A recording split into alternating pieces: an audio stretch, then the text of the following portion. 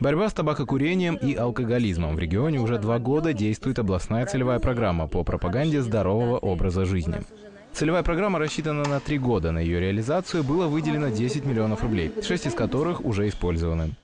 Данные средства были направлены на организацию работы центров здоровья в нашей области, на приобретение медицинского оборудования, на открытие стоматологических кабинетов, детского центра здоровья, на издание памяток, брошюр, плакатов, которые распространялись среди населения.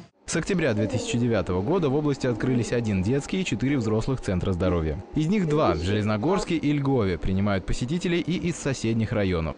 Обследования прошли 22 тысячи курян. У половины функциональные расстройства, о которых пациенты и не догадывались. Центры здоровья как раз и дают возможность выявить болезни на ранней стадии. Все анализы проводятся бесплатно и очередей практически нет. Обследования ведут врачи, прошедшие специальные курсы.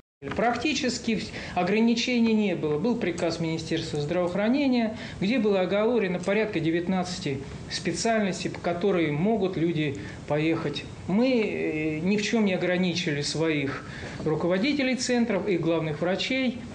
Вот 55 человек мы подготовили. Медики говорят, благодаря работе этих центров в регионе сократилось число любителей спиртного и курильщиков на 1 и 1,5% соответственно. Антон Исюков, Андрей Зарубин, телеканал «Сейм».